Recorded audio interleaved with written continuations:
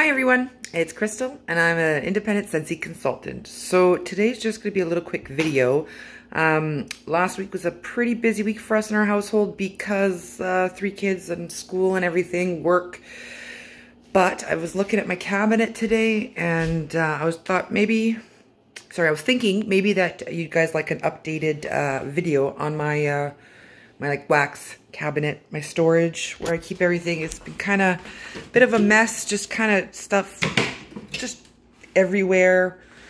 Nothing's really organized too well and I gotta kind of, things got mixed up from, you know, dipping in and grabbing things.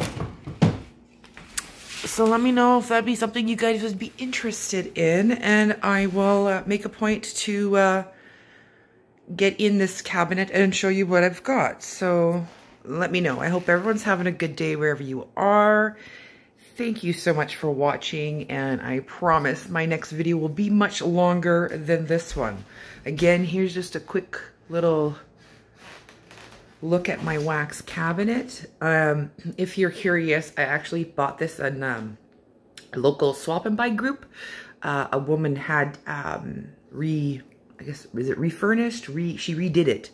Um, my son picked off some of the paint there on that one knob. But other than that, uh, down here, just show you a little sneak peek is where I got most of my, um, what are they called again? Bricks. And then I have um, my stash of uh, Pretty and Plum bars. So I got quite a few things in here. Like I said, let me know if this is something that would interest you guys. I'd be happy to do it. Um, I definitely have some videos coming. Now that uh, things are starting to get more under control in this household, I'll be able to uh, make some more videos. So again, hope everyone's having a great day wherever you are. Thank you so much for watching, and I'll catch you guys in the next one. Bye.